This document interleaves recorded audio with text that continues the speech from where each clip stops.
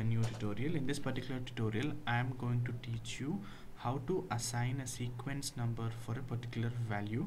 And if the value is repeating then we fetch the correspondent sequence number else we generate a new number. For example in this particular case the value is 4 and we have assigned the sequence number as 1 and in this case the value is repeating so again the number is the sequence is a is assigned as 1 and when the value changes a new sequence number is generated and that is assigned to this particular value.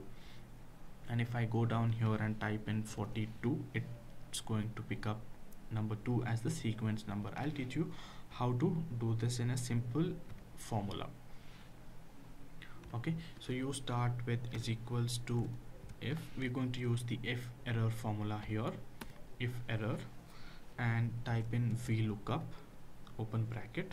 Lookup value is going to be our value comma table array uh, enter as a1 hit the F4 button to lock the cells and add a semicolon followed by B1 okay? And column index number will be 2 because we want to look up the second column comma false close the bracket comma. Now the formula is asking you what it needs to do if there's an error. Here you need to enter sum open bracket type in max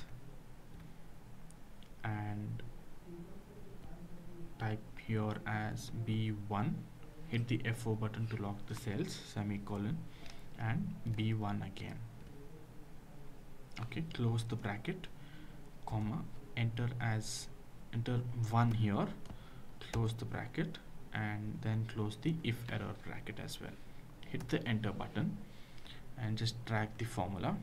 As you can see a new sequence number has been generated for the values that are repeating the correspondent sequence number has picked up. And if there's a new value here a new sequence number is generated. I hope this video will help you in achieving your goals. Hit the like and subscribe button if this video has helped you and comment down in the section below if you need if you want me to make any particular video where you need help with. Thanks for watching